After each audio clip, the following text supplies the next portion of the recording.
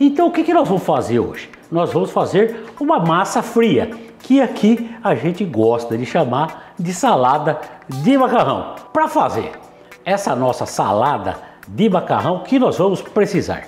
Frango, cebola, tomate, maionese, salsinha picadinha, manjericão, azeitonas verdes, azeite, sal, pimenta e das AL nós vamos utilizar a massa tipo parafuso de grano duro.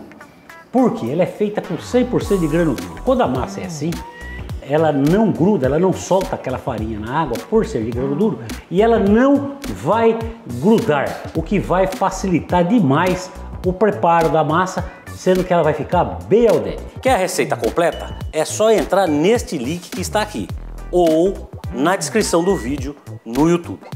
Começamos temperando o nosso frango com sal, pimenta e limão. Vamos mexer bem isso aqui. Isso aqui vai ficar marinando enquanto a gente cozinha a nossa massa.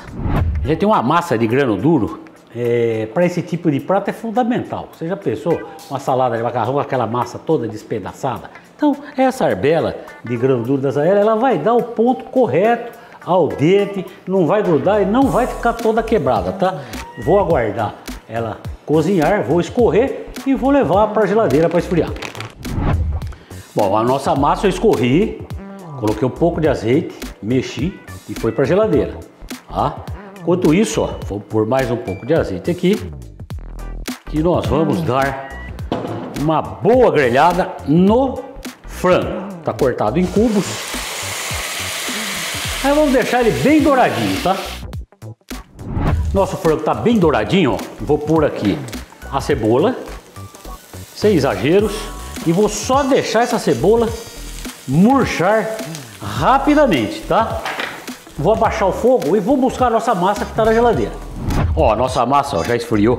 Olha só que espetáculo, gente. Soltinha e ó, é gostoso comer massa assim, né? Hum, ao dente perfeito.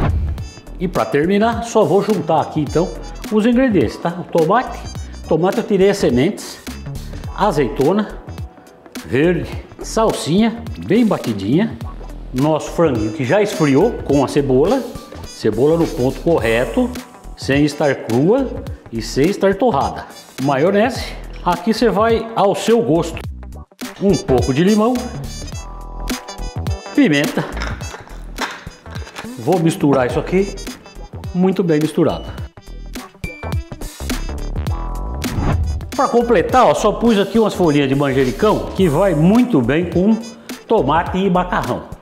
Um fio de azeite e aí é só comer. Um prato colorido, de substância e extremamente saboroso.